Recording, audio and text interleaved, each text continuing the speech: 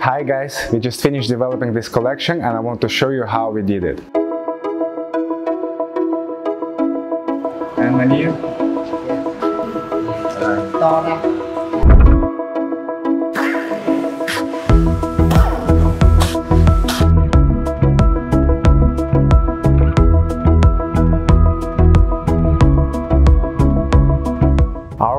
Was to make a big chunky uh, look for the bedroom. And we decided to use acacia, uh, both solid wood and MDF veneer panels. And we are using uh, the solid wood for the frame. And the panels, these panels here and the drawer fronts are MDF veneer. Uh, the highlight of this collection of this design are different size drawers on the case goods, on basically on the dresser and the tall boy. And the biggest part of the design feature is the headboard. It's a, basically it's a bookcase. Uh, we have uh, different options for the footboard. We have an option with the drawers and we have an option without drawers.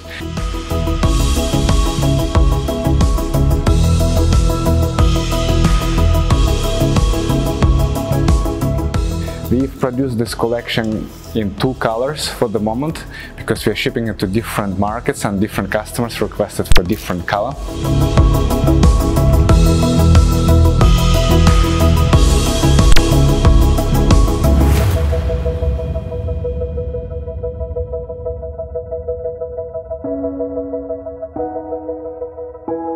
For the chunky look, we actually needed to make it chunky. The footboard is 55 mm thick here, so it's quite big.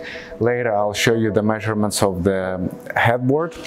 I want to tell you what we needed to achieve and we didn't for the samples. So our goal was to make uh, this deep line on all the case goods you can basically see this panel standing out and it's like it's there is like a, a, deep line here. We managed to do it on the footboard but for the samples because we were rushing it we need to ship it on time we didn't manage to get it done. However for the production if the customer choose us to do it we can do it. So at the moment it's not as deep if I don't highlight it or if I don't talk about it, probably final customer wouldn't notice it, but I'm making a video for them, so we let them choose if they want us to make it deeper here. We are thinking to make it deeper for another 5 mm from here.